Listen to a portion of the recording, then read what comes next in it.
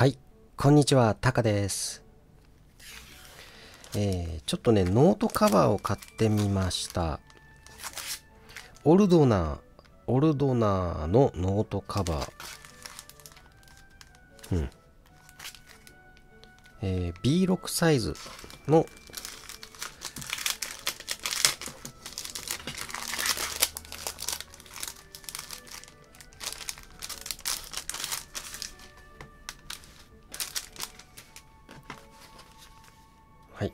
こんな感じですね。えーっとね、これは、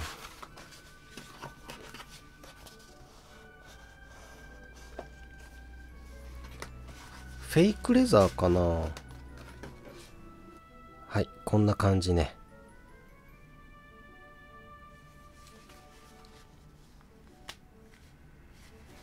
うん、とてもね、薄くていいんじゃないかなと思います。これ900円、972円ですね。えーとね、スミスで買いました。えー結構あの、スミスっておしゃれ系文房具がね、売ってるなっていう印象がありますけどね。うん。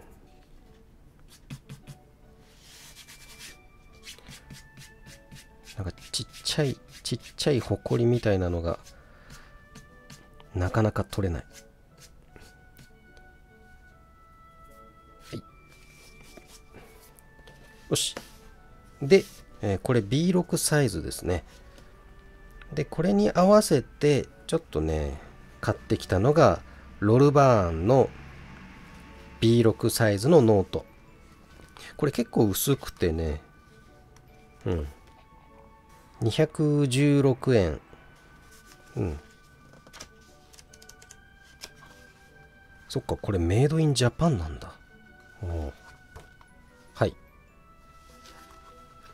えっ、と、ロルバーンのね、ロルバーンのノートカバーも、もうちょっとね、安く売ってたんですけど、ちょっとこれなんか気に入ってね、こっち買ってみました。装着。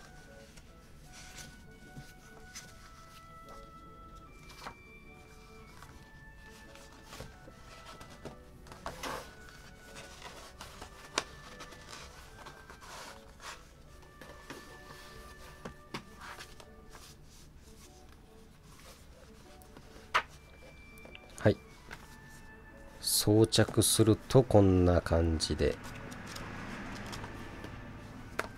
うん。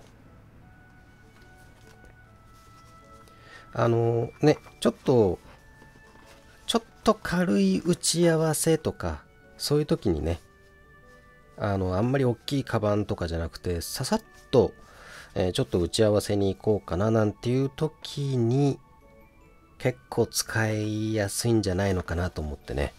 うん。ね、ちゃんなんかこういうカバーでさっとね、メモを取るってなんかかっこいいですよね。うん。はい。で、ここにペンもさせるからね。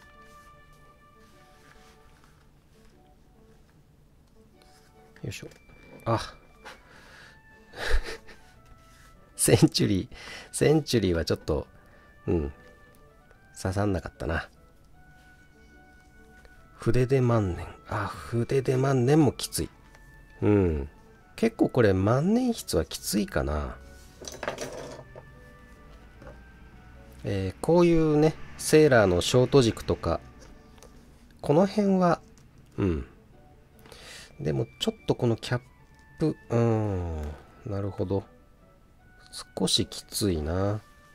まあ一応ね、ボールペンも1個買ったんです。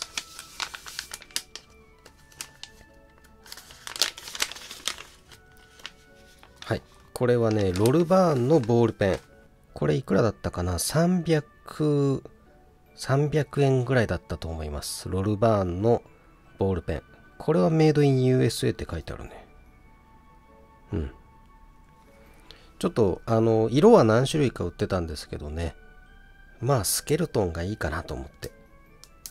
ね、このスケルトンにゴールドのペンクリップとかねこのちょっとした金具が全部ゴールドっていうこれいいなとうん思います。ペン先もゴールド、うん、はい。でまあこのサイズだとね余裕で入るでしょう。うん。まあこのとこの組み合わせよ。あこれってどうなんだろうね。ペン挟んでるとこの中に入れとくとちょっとねこんなになるし外に出して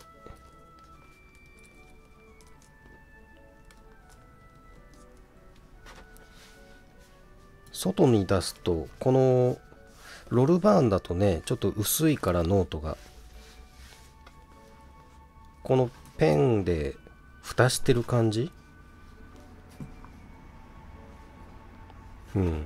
なんかそんな感じ？イメージ。このまま閉じるとここがねちょっとうん。あんまり良くないな。ペンを外にしてカポッと。なんかこんな感じ。これがすっごい今しっくりきてる、うん、ペンで蓋してるっていう感じ。でひあ開かないって言おうとしたら開いた。うん。うん、まあ、こんな感じかな。はい。ということでえー、まあ打ち合わせとかね結構あったりするんでちょっとこういうセットで持ち歩くのもありかな。うん。まあちょっと万年筆使いたいところですけどね。うん、だからひょっとしたらここは使わないかもしれないしみたいな感じですね。まあ一応なんかこれねいい感じの組み合わせになりそうかなと思ってボールペンも一緒に買ってみました。はい。ということでオルドナーの、えー、ノートカバー B6 サイズのノートカバーとロルバーンの B6 サイズのノートとロルバーンのちょっとねスリムなスケルトンのボールペン、うん、このセット、えー、このセットでねいくらだっけ？1500600円とか。うん。それぐらいですね。うん。まあそのぐらいの価格でちょっとおしゃれな雰囲気が作れるかな。と思いますね。うん。うん。いい買い物できたかなと思います。